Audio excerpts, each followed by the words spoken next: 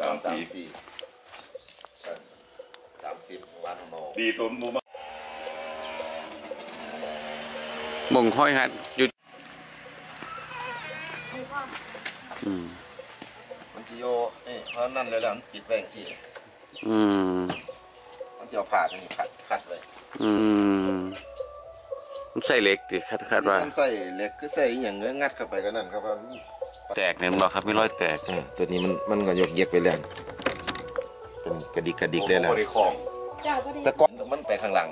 งัดข้างหลังทีนี้มันมาข้างหน้าเลยพอมาเบิ่งแล้วก็ก็เด็กต้องเล็กก็ออกเลยมันสิออกแล้วนะครับ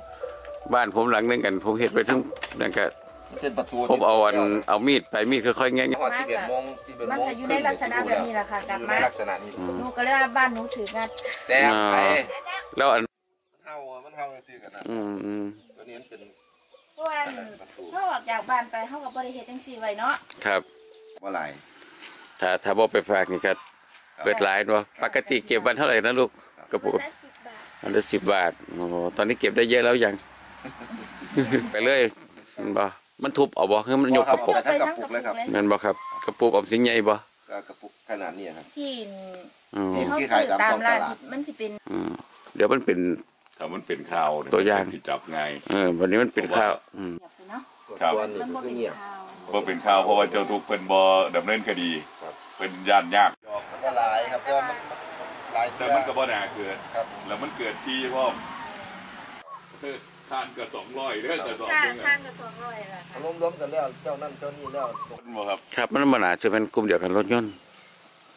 แต่ว่ากับเงียบแต่ว่ามอเตอร์ไซค์ออกไปได้สี่ ใส่มอไซค์ คันเดียวเลยว่ามันใส่สี่สอบ อยู่หน้าสองหลังหนึ่งแล้วก็กระจังหน้าตัวหนึ่งตะแกรงหน้าอีกสอบหนึ่งปีเนี่ยก็อยู่ห้าสิบสอบหาสิบสอบสอบครับหาสิบหกสิบสอบครับเออมันลดลงไปประมาณครึ่งหนึงคือลดไปครึ่งครับติดตามไว้ให้เป็นตัวอย่างนะครับว่าพวก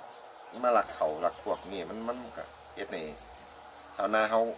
เกษตรกรนี่มันลำบากครับยังบ้านๆยังผมก็ลำบากครับ เอาไปที่ซ่อมนี่ก็ถ้ากินอยู่ในบ้านก็เป็นสองเดือนครับ ครั้งที่สามครับ แล้วก็น่าเห็นใจว่า